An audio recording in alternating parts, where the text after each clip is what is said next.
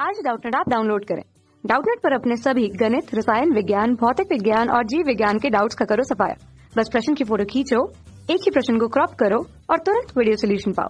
अभी डाउनलोड करें। Hello everyone आज का हमारा जो सवाल है, इसमें दिया है कौन अधिक क्रियाशील है। ठीक तो देखो, जितने भी ऑप्शन हमें दिए हुए हैं, इसमें ये सभी ऑप्शन हमें देख के पता चलता है कि ये सभी अम्लों के व्युत्पन्न है। ठीक तो देखो, अम्लों के व्युत्पन्न क्या होता है? तो जैसे हमारे पास अम्ल जो होता है ये होता है R C double O H ठीक है, ये अम्ल हुआ, ठीक है।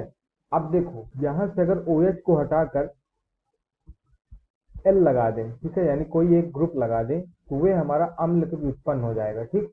तब देखो, इसमें क्या होता है, इसकी अगर हम संरचना कुछ ऐसे बनाए, इधर आर इधर एल ठीक है, वही संरचना है काते की है। तो देखो, इसमें क्या होता है कि ये सी और ओ के बीच में इलेक्ट्रॉन ऐसा ट्रांसफ़र होता है, ठीक?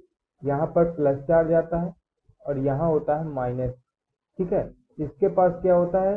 इसके पास होता है एकाकी युग्म। ये क्या करता है? अपने इलेक्ट्रॉनों को इधर देता है और ये अपने इलेक्ट्रॉनों को इधर देता है। तो देखो, यहाँ से क्या बन जाएगा?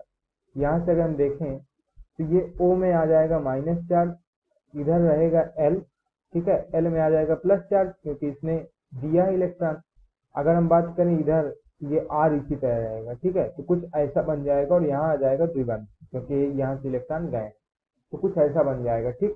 तब देखो, यह कौन अधिक क्रियाशील होगा? तो इसमें देखो, अगर हम बात करें तो क्रियाशीलता क्रम वही होता है, और जितना यहाँ पर प्लस चार्ज बढ़ेगा, ठीक है? यहाँ पर जो प्लस है, ये जितना ज़्यादा बढ़ेगा उतना ही ज़्यादा वह क्रियाशील होगा, ठीक?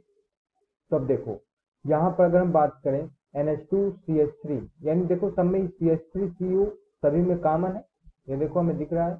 अब बचा क्या? यहाँ पर NH2 बचा, यहाँ पर OCH3 बचा, यहाँ पर Cl बचा, यहाँ पर OC2H5 बचा, ठीक? तो देखो NH2OCH3 और Cl और OC2H5 में जो ये L है ना, ये L जितना ज़्यादा लीव करेगा मतलब इनकी लीविंग ग्रुप एबिलिटी यानी लीव करने की क्षमता जिसकी ज़्यादा होगी, वह सबसे ज़्यादा क्रियाशील होगा, ठीक? तो देखो एलजीपी मतलब लिविंग ग्रुप ठीक है जो हमारा बाहर निकल रहा है ये यल बाहर निकल जाता है ठीक है। तो इस, इसकी जो क्षमता होती है अगर हम इसकी बात करें तो इसमें देखो सीएल की सबसे ज़्यादा होती है ठीक है।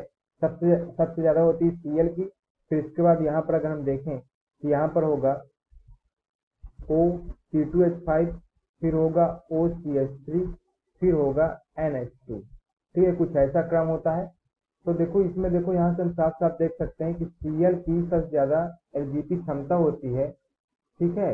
क्योंकि ये इलेक्ट्रॉन खींचता है, ठीक है? इस कारण से, ठीक? तो इसलिए ये सबसे ज़्यादा क्रियाशील होगा। तो अगर हम बात करें, यहाँ पर तीसरा ऑप्शन जो हमारे पास यहाँ पर दिया हुआ है, ये हमारा सही होगा। थैंक यू कक्षा छठी से बारहवीं से लेकर NEET I I T JEE वो एडवांस के लेवल तक, एक करोड़ से ज़्यादा छात्रों का भरोसा। आज ही डाउनलोड करें डाउट नेट ऐप या व्हाट्सअप करें अपने सारे डाउट्स आठ चार सौ चार सौ चार सौ पर।